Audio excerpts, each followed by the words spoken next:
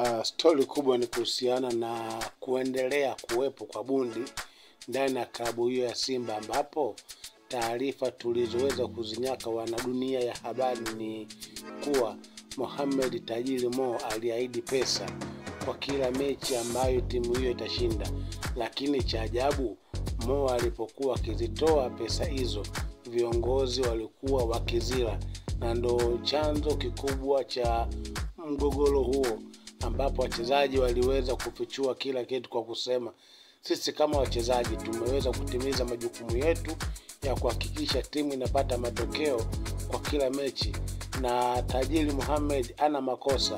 Yeye alikuwa akitoa pesa akiweka kwenye akaunti, lakini viongozi wa timu hiyo wakiongozwa na Tiageni na mwenyekiti wake magungu pesa hizo walikuwa wakizila.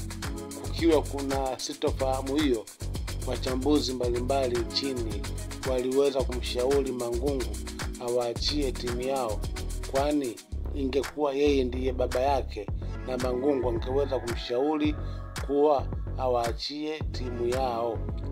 Ukiwa kama mdau wa dunia ya habari, tunaomba komenti yako, kushare pamoja na kulike ili uwe wa kwanza katika kuzipata habari zetu pindi tu zitakapokuwa zinatoka. Asanteni sana. Hicho ndicho kilichoweza kutokea ndani ya timu hiyo, kumbe sababu kubwa ikihusiana na mgomo wa pesa. Ukiwa mdau, tunaomba komenti yako, kushare pamoja na